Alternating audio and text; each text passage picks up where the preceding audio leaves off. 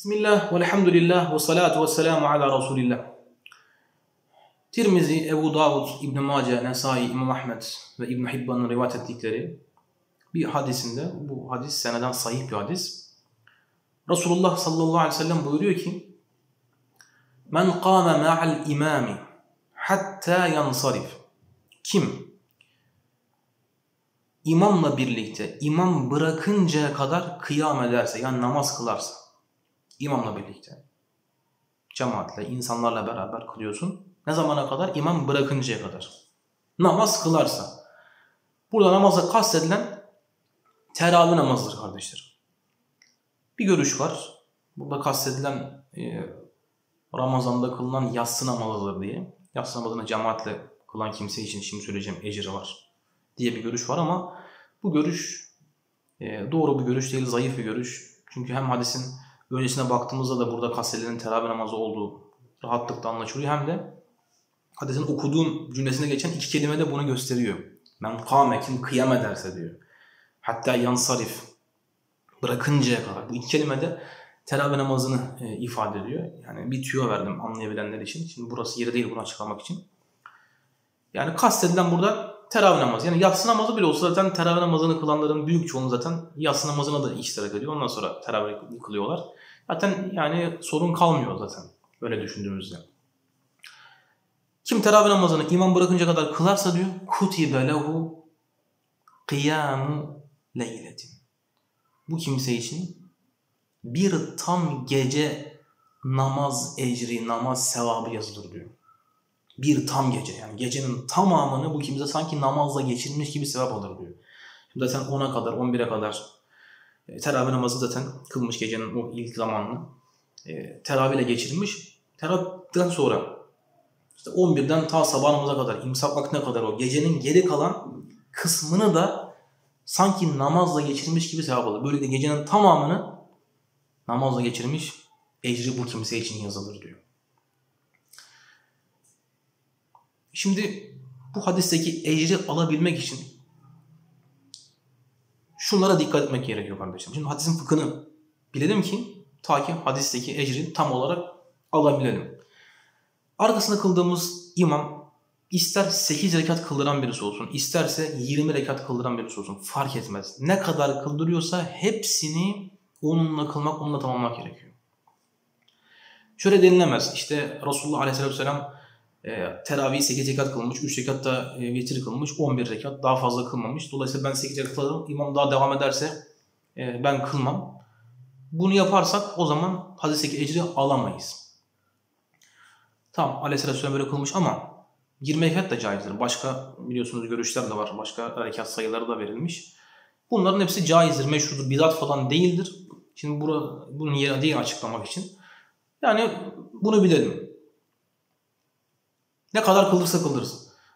Ve yani önemli değil yani o müddetse. Yeter ki yani imam bırakınca kadar kılalım. Yani bu bir saatten fazla sürebilir, bir saat sürebilir, bir saatten az sürebilir fark etmez. Ee, şöyle de düşünülemez. Ee, mesela mescide gidiyor iki tane imam değişimli kıldıracak. Mesela bir imam 8 rekat kıldırır ya da 10 rekat kıldırdı gerisi de geliyor.